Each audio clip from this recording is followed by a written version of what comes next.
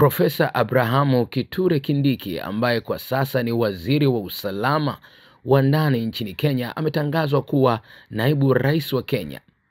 Rais William Ruto ameliwasilisha jina lake Kindiki bungeni ili wabunge waidhinishe uteuzi wake. Spika Moses Wetangula alitangaza bungeni mnamo Oktoba 18, 2024 akisema nimepokea ujumbe kutoka kwa rais kuhusu uteuzi wa Profesa Kindiki kujaza nafasi iliyoachwa wazi katika ofisi ya naibu rais wa Jamhuri ya Kenya, alisema Spika Moses. Hatua hiyo inajiri baada ya bunge la seneti hapo jana kumwondoa ofisini Rigathi Gachagua kwa mashtaka matano kati ya kumi na moja yaliyowasilishwa dhidi yake na bunge la kitaifa. Profesa Kindiki alizaliwa Julai 16 mwaka 1972 katika kijiji cha Irunduni, eneo la bunge la Taraka, eneo la kati mwa Kenya.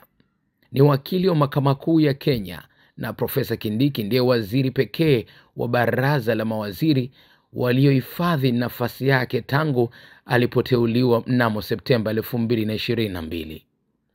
Kindiki ana shahada ya kwanza ya sheria kutoka chuo kikuu cha Moi, diploma ya uzamili ya sheria kutoka shule ya sheria ya Kenya, shahada ya uzamili ya sheria na shahada ya uzamivu yani PhD katika sheria ya kimataifa kutoka chuo kikuu cha Pretoria nchini South Africa.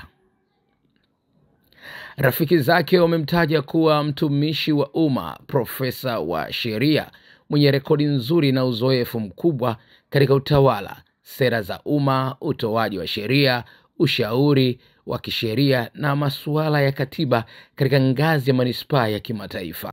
Waziri huyo wa mambo ya ndani ana uhusiano muda mrefu na Rais Ruto na alikuwa wakili wake alipokuwa akikabiliwa na mashtaka kati ya mahakama ya kimataifa ya uhalifu yani ICC.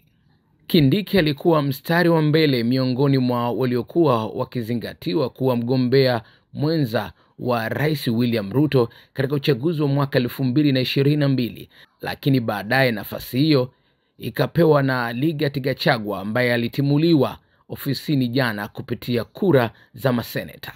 Hizi ni ripoti kimataifa. Mimi ni Mchanja Mbuga. Subscribe YouTube ya Millard Ayo kwa kuendelea kupata taarifa nyingine zaidi.